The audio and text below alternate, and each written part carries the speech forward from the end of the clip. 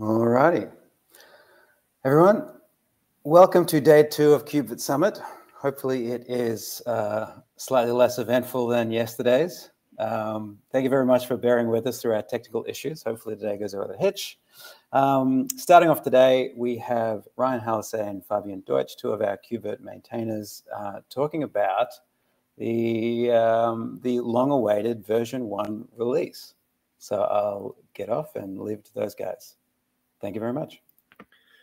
Thank you very much, Andrew, and thank you very much to the team for fixing all the technical stuff just yesterday. So welcome, uh, welcome to KubeVirt Summit. Um, it's great uh, to be here again. Um, and I'm here today, so my name is Fabian Deutsch. I'm an engineering manager over here at Red Hat and working on KubeVirt Upstream. And uh, Red Hat is building a product on it called OpenShift Virtualization. And with me, I've got Ryan Hallisey, a software engineer from NVIDIA, who is uh, adopting KubeVirt and um, is also a KubeVirt maintainer. And, in this role, the two of us are speaking to you right now. So, um, hello.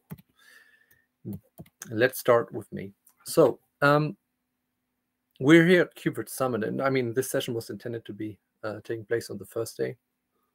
Um, so, let's recap, right? It's KubeVirt Summit. Um, KubeVirt has come a long way uh, and we want to see how far. I mean, we already saw some great sessions yesterday, but some amazing deep dives, um, which I was excited to see. Um, so, how to develop KubeVirt over the course of last year? So, let's look at the creators contributing content to KubeVirt. It's not only code; it's also about documentation, testing. So much we need so much attention on stability, right? So it's everybody who contributed to KubeVirt, and not only to KubeVirt slash KubeVirt, but also to associated projects. So I looked at a few of the dev stats that the uh, CNCF is creating. Um, and here, this is a simple one, right? It's wonderful to see how many forks and how many, the forks is the orange line, and how many stars, which is the green line, um, we got over the years. That's great. Um, I think that the number is secondary to me. To me, it's interesting too that we have a continued interest. Uh, the blue line marks, by the way, the number of issues mm, that we have, and I think that's also reflecting that um, KubeVirt is being used differently, which then leads to uh, this increase of issues over the course of the year. You can also see the um, the vertical lines, which are somewhat reddish, and you have a lot of them um, until like the end of the year. I mean, down here we have like 2023, on the bottom right, but everything up to that point is 2022. And all these reddish lines are releases, right? So I think we were we were quite good at doing releases throughout the year. But there was a change, and we'll get to that in a minute. Um, something that stood out to me is actually the behavior in, in, in how reviews were done, right? We we have many contributors. Um, I actually don't. I, I think I did not look up that number, but um, in this chart, what struck me is how well we we we communicate right? Um, there are a lot of issues there are a lot of prs we have we have many prs open which is good and bad at the same time right? Um, but at the same time we definitely see that there's increased communication over the um, over prs and comments on on issues which is great. It also shows that there are like less of of list channels right to make sure that we really speak across, or not, ensuring it, but um, illustrating that we're speaking across uh, company boundaries, discussing the PRs. We heard about ARM yesterday. We heard from NVIDIA yesterday, and a lot of this work is happening, uh, taking place in upstream, uh, which is awesome.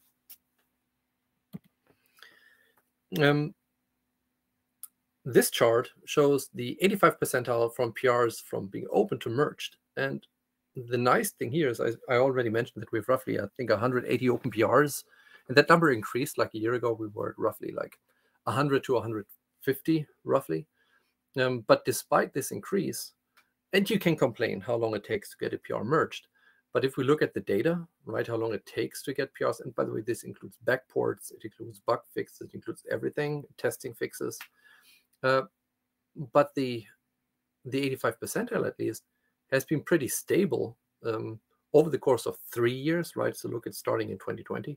So it's been pretty stable and pretty low, right? So we've got low is always relative, right? So it's uh, taking roughly four days if we look at the last two years at least until it, from a PR being opened until it's getting merged, and that's nice, right? So despite an increase in in contributions in the sense of PRs, we managed to keep the time to merge a PR um, pretty low. I should add for transparency, so please take a look at the stats yourself, that there are obviously outliers, right? We have some complex work going in or being here. TPM, for example, I see how long it's lingering around, right? The persistence for VTPM, which is awesome, but these are difficult problems. They naturally take um, a lot longer, but at the same time, it's great to see that there's so many other fixes which are so quickly to get in. So uh, we looked at the contributors, right, who contribute, creators who contributed to KubeVirt. Let's take a brief look at the adopters, because there were also some changes on this side. Um, this is a screenshot of our uh, source code management tool, uh, GitHub, and um, it's naming a few of the changes to the adopters file. And the reverse order, right? So the most recent addition is actually Deckhouse, which I think just announced their adoption of Kubernetes in one of their products. So congratulations for announcing this. I think it's just from this month. We had Trilio, um, who um, is active in the uh, in the backup space in, in, in, the Kubernetes ecosystem, and also added support for KubeVirt. Then we've got the OS build operator by uh, the Flotta project, and we've got Puzl which is like a um, a cloud cloud provider um, to to bring use um, to you on demand build on a I don't know minute minute or hourly fashion, um, which is nice because it's done through the Kubernetes API natively or in general natively through Kubernetes APIs. Lastly, there's also Killer and I think we've seen how Killer took over from Katacoda. Uh, really good to see, and um, yeah, keep keep going, Killer I think it's great to see this this kind of tool for getting hands on stuff that's otherwise sometimes complex to set up. beyond the adopters that disclosed themselves to um, the KubeVirt adopters file, I want to encourage everybody, right? If you're adopting KubeVirt, then share your story, right? Share what you're using KubeVirt for. This helps us as people who contribute to KubeVirt to also make decisions about features, right? To understand the use cases better. Um, so just looking at a number of the companies that contribute uh, to KubeVirt, right? So every developer is effectively trying to be mapped to a company, and there's a huge mapping file where you can um, map yourself to a company. We see that we have Red Hat and Google like leading this list, but let's let's steer our view a little bit further down, right? We see a couple of companies that have emerged over the last year that that contributed code, and that's great, right? We have Amadeus, have SAP, we've got Kong, uh, Intel, NVIDIA, Kubernetes. I mean, you're with us for a long time. ARM, sure. Howard, right. Thanks for that session already. Uh, SUSE, IBM, and Gitpod. I always forget uh, who is mapped to Gitpod. And Google and Reddit as well. So it's good to see this diversity of contributions. And uh, yeah, let's keep this diversity and let's keep it going and growing. With all this, and I'm getting to the end of my part, and giving Ryan uh, some time to prepare for his part. Um, with this diversity in in contributors, something that's I think also being being brewing is to um, to see that we extend or make our governance model more robust. Right? We want the voices of everybody here. We want to make sure that we make the right decisions for us as a project. Right? Not that it's useful so for so many. We want to make sure that it's staying that way, or it's even you know becoming even more useful. For this, it's important that US adopters or US contributors step up. Please step up. Please weigh in. We want to see that the ownership uh, within KubeVirt can be distributed, right? Today we have a set of strong maintainers, and thank you very much, and approvers. Um, but we want to put that on more shoulders. We need to see that we keep KubeVirt robust, that we multiply the knowledge, that we maintain the knowledge that it needs to build KubeVirt to extend it. I mean, we are for sure to some extent the feature development has I wouldn't say flattened, but has come down. But we know where at an end, right? We need to continue. We will have to continue to implement uh, features because we're a virtualization platform, and virtualization is is still going strong. Confidential computing is just one of these buzzwords. It's actually more, th- more than a buzzword that's been looming around that we need to get to. But in order to to get there, in order to keep it stable, in order to make sure that we're professional on all ends, we want a strong governance around KubeVirt, And that can be is, starting with approvers, but it's also going beyond it. For example, to organize events like this um, awesome KubeVirt Summit. So please step up. There are some PRs, like on KubeVirt KubeVirt, for example, to look at the the SIGs, right, that we have informally established to drive that further, to introduce the concept of SMEs possibly to maintain knowledge. But step up, uh, reach out to us in case that you want to support us on the documentation side, on the testing side, um, and to be part of the team behind KubeVirt, right, beyond the code. Thanks. And with this, I'm I'm handing it over to Ryan, who will be putting a uh, much stronger focus on on a possible version one that might be coming up. Over to you, Ryan. Thanks, Fabian. So I'm excited to share the news with everyone about the next KubeVirt release. So the community is targeting the next release to be V1. And this is really exciting for so many reasons. And what I want to do is I want to present with you a, a, a theme for V1. And, and that theme is about is aligned with Kubernetes. Next slide, please. So we're going to talk a little bit first about the schedule here for V1. So for March, this has already happened. So we have Kubernetes, we have uh, the 127 Alpha 3 tag that has already happened. It was in the middle middle of March. And uh, we have a few things that have already occurred with KubeVirt. We've had a, a V060 Alpha 0 tag, and we've had some work already begin on the 127 provider. And um, this 127 provider, if you don't know, uh, uh, really just the provider work in general is, is critical for our success and how we do these releases. And really all this is, is we want to take bits, the new bits that Kubernetes offers us and makes available to us. And we want to lay them down in our CI. And we want to test all our new PRs and everything against these new bits as soon as possible. And this kind of thing is important for our velocity and, and releasing. And so this work you'll see is a consistent theme across the calendar. So next slide, please. April. So this is exciting. This is, we have KubeCon EU in April. We've got Kubernetes 127 release, and that's targeted for April 11th. And uh, for April, KubeVirt has a few things we on our schedule, and this is the, the goal is to tag the, the V10 Alpha 1 tag. And also as a goals, we want to have a 127 pre-submit job uh, available to us. And this is, again, a, a, a, job that if you've seen in the gates or if you've seen in one of your PRs, this is the opportunity for you to run this job on demand. Next slide, please. May. So May is May is an important month for eventually getting to the point where we we really stabilize these 127 jobs. And so again, like uh, I can't emphasize enough, like the how these 127 bits and having CI stable on these 127 bits. And so uh, for May, it's it's all about stabilizing, and this means having the the gates for 127 being voting in all the SIG lanes and having them available and ready and running against all PRs and having them voting. Okay, and next slide for the last month. So this is the last leg of the journey that, that we're targeting. So for V1, and this is uh, the exciting month of June where where once we hit the summertime here, we we want to hit the feature freeze. And this is this means that the we want to branch off of main. We want to branch, we want to create a release window branch off of main.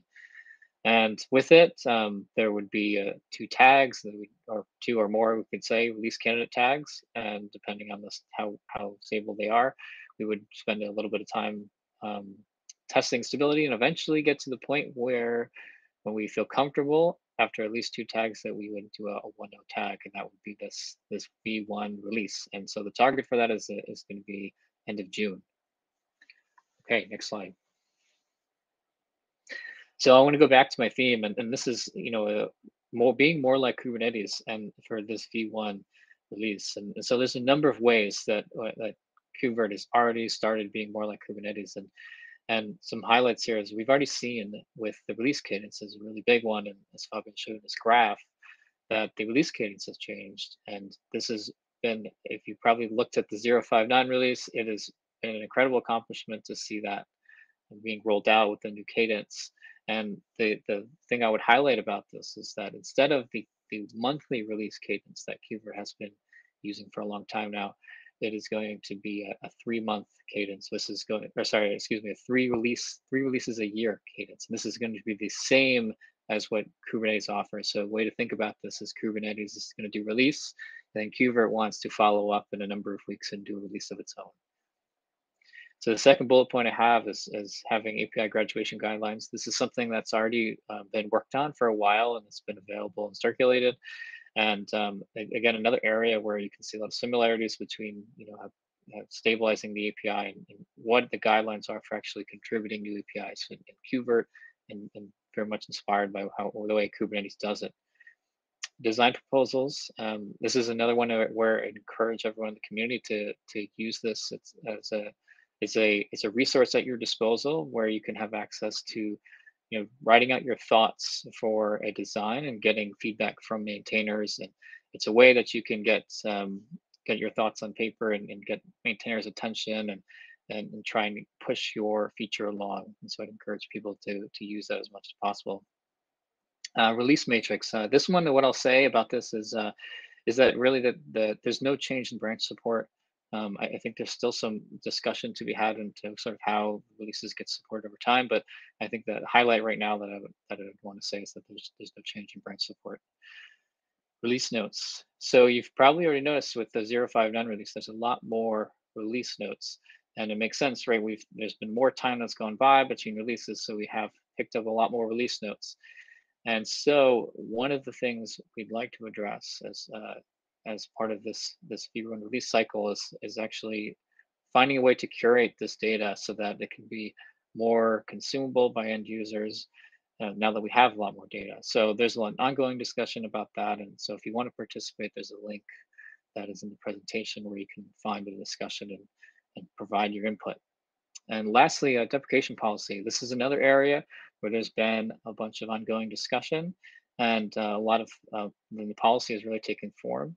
And uh, again, this is another area we can follow the link. And I would say, I think uh, I have so I have a picture is either the first or one of the first uh, APIs that I've seen deprecated that has been V1, and this is the virtual machine instance presets uh, API. And you can see there at the bottom, like in the picture, that there's a little note about how you'll get a warning about this will be deprecated and, and removed in V2. I think I think this is in either 058 or 059. You'll you'll see this with uh, when you use VMI presets.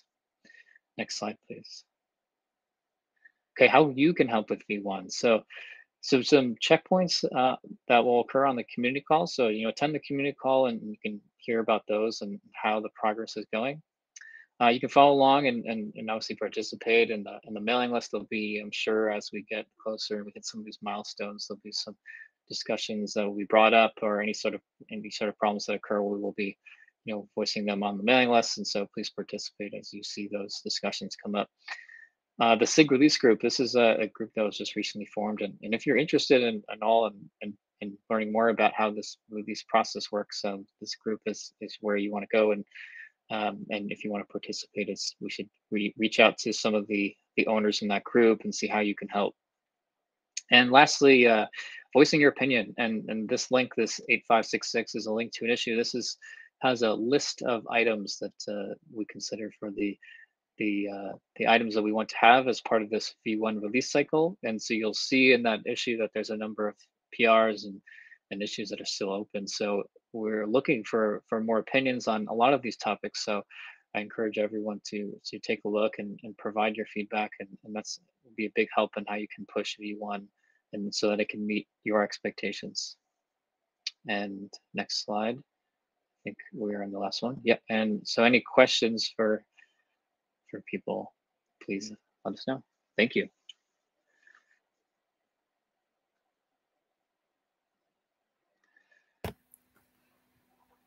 I'm also checking the chat and the Q&A. Um, so far, there are no questions.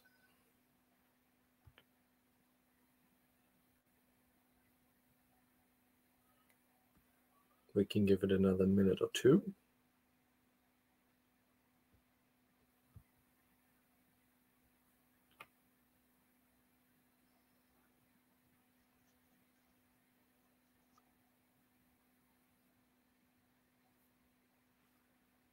And otherwise, we might have a longer break until the next session. And thank you for getting up early, Ryan. Problem. Oh, I think there Oh. is something.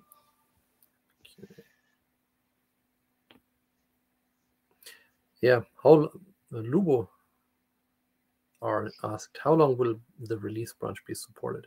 I think today's policy is that we follow like um, Kubernetes um, support cycle, and they're they're supporting the branches of one year, right? So three branches, the current one and the two previous ones are supported, and um, I still think there's some vague points that we need to clarify. For example, do we want to lock pages after this time frame of one year, or do we want to still keep them open to permit like you know urgent security fixes to be backported um, or not? So that's something to to close until the upcoming release uh, to simply be more specific on it. But here, I think, as we did on many things in the past, to look at how, what are we don't do it now. Uh, let me finish my sentence. So to take the guidance from Kubernetes and see how we can align, and we're doing, not doing it naively, just to be clear. Um, I think the, the main reason why looking for Kubernetes for so much guidance mainly is to give our users a clear uh, expectation window. Right? If we come up with our own solutions, um, then we divert from Kubernetes, which makes it really difficult for users to understand what's now the support scope for KubeVirt on Kubernetes. Right. So by aligning Kubernetes, it's simply simplifying it for for adopters of KubeVirt to understand that better, and actually for adopters as well.